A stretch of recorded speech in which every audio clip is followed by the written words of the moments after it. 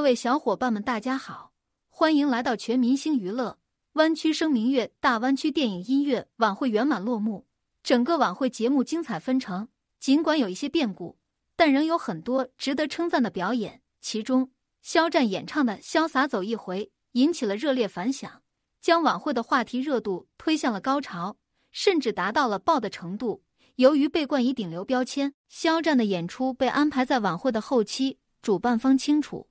无论什么时候，只要是他的舞台，观众总会留下来，因为总会有人在等待他的表演。尽管是在深夜十一点多才开始演唱，但歌曲一唱完就瞬间登上热搜，单个平台上的话题超过五个，累计阅读量轻松突破亿。截至发稿时，肖战真唱的话题已经突破了三亿阅读。也许有些人会感到奇怪，为什么真唱会引起如此轰动？实际上。这是由于大环境造成的。当时晚会有相当一部分人是对口型或者假唱，真正的实力唱将非常少。而肖战作为备受关注的顶流，许多人都怀着质疑的态度等待着他的表演，希望看到笑话。然而，肖战却脚踏实地，尊重舞台和观众，选择了挑战真唱。在那样的情况下，肖战被推上热搜并不奇怪。当然，真唱其实是歌手最基本的素养。这才是表演的正确打开方式，而不是对口型。关键是有些歌手甚至对口型都掌握不准确，这让网友感到愤怒。因此，当他们看到肖战真唱，并且还唱得相当稳定时，纷纷发出“肖战真给内娱长脸面”的感叹。肖战引起了人们的关注，不仅因为他真实的演唱，还因为他对自己身材的管理。娱乐圈常常变幻莫测，明星们也常常发福。但是肖战始终保持着挺拔和精神的形象，非常自律。无论是在机器扫描中的短短几秒钟，还是面对镜头时，他都以最佳状态示人。他的颜值和实力并存，这难怪粉丝们如此激动的传播开来。肖战凭借自己的实力吸引了一大批粉丝。在演唱《潇洒走一回》之前，他的粉丝数量已经达到了三千一百六十三点四万人，而在演唱完毕后的短时间内，他的粉丝数量增加了两千人。达到了三千一百六十三点六万人，这个增长发生在夜间。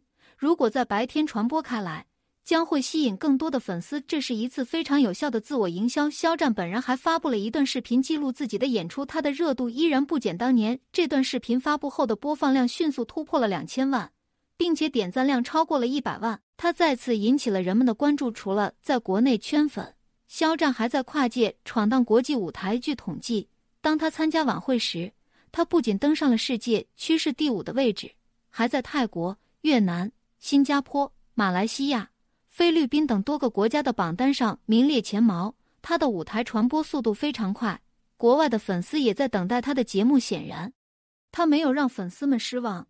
仅仅通过在晚会上演唱一首歌，肖战就能产生如此大的影响力，这是很少见的。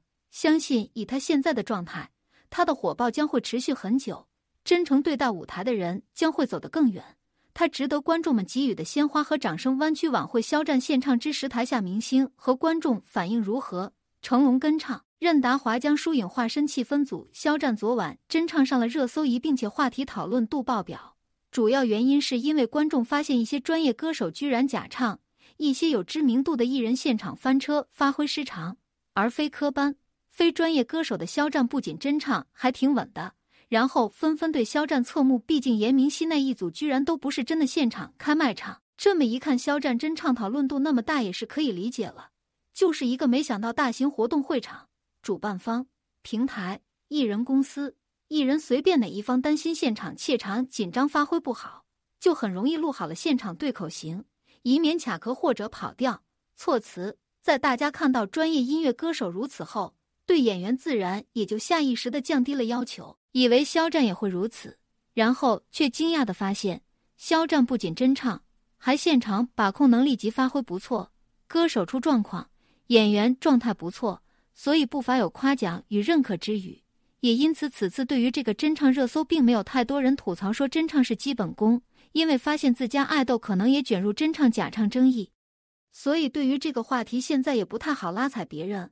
换句话说，全靠同行衬托。既然不想自家爱豆假唱上热搜，那么自然可以接受顶流真唱上热搜，正好还可以转移一下视线。所以在其他艺人专业问题频出的情况下，非专业歌手的肖战意外反而效果不错，因为划水的人太多，真唱这种基本的职业素养反而显得弥足珍贵了。原本以为等着看笑话，没成想顶流敢真唱，能真唱并且反响很好。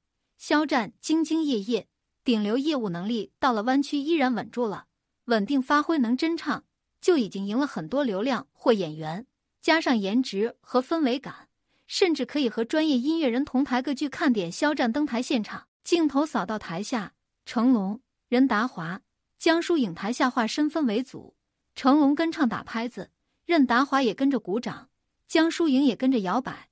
曾黎举起手机对着台上拍照或者录像，吴京也在含笑看中，费翔抬头看向舞台，还有一些其他演员、歌手或业内甚至拿出手机拍摄。因为肖战登台，观众席反应很大，人声鼎沸，所以大家也会感受得到肖战的人气。毕竟也是港区预热宣传中的内娱顶流、一线人气明星，没有想到到了湾区人气依然这么高，依然是全场观众呼声最大的艺人。别人的主场，他似乎轻而易举可以拿到万众瞩目的待遇。肖战和成龙合作过，之前成龙的一个活动，肖战和成龙同台合唱，所以也算就相识。成龙和肖战在湾区晚会一见面，也是直接拥抱寒暄。后面成龙给肖战的节目捧场，也是看得出来前辈对晚辈的青睐。任达华可能不熟悉肖战，但看中成龙认识。后期肖战演唱的时候，他和成龙交谈，可能也是在了解这位年轻的内地明星。曾黎据说也和肖战合作过，就是肖战的待播剧《玉骨遥》中饰演石颖的母亲，空骚皇朝的皇后。肖战和江疏影好像没有合作过，但是姐姐人美心善。喜欢这首歌或者被舞台氛围感染也是正常的，跟着旋律跟唱或打拍子也是正常的。其实肖战现场熟人不是很多，而且节目又安排在后面，登台时很多明星都已经离场了，但现场氛围还是被他带动起来了。甚至于在他表演完节目之后，大量观众也直接离场，反响还是不错的。你怎么看待呢？欢迎品评哦。最近官媒人民文娱对话肖战，通往好的表演没有任何捷径。只有真诚和坚守可以完成六月电视剧《梦中的那片海》播出，观众看到了一个更加成熟的演员，成为肖春生，同样是一场梦。梦里，肖战看到了人物，看到了时代，也看到了自己，看到了现在他并不是喜欢罗列计划的人。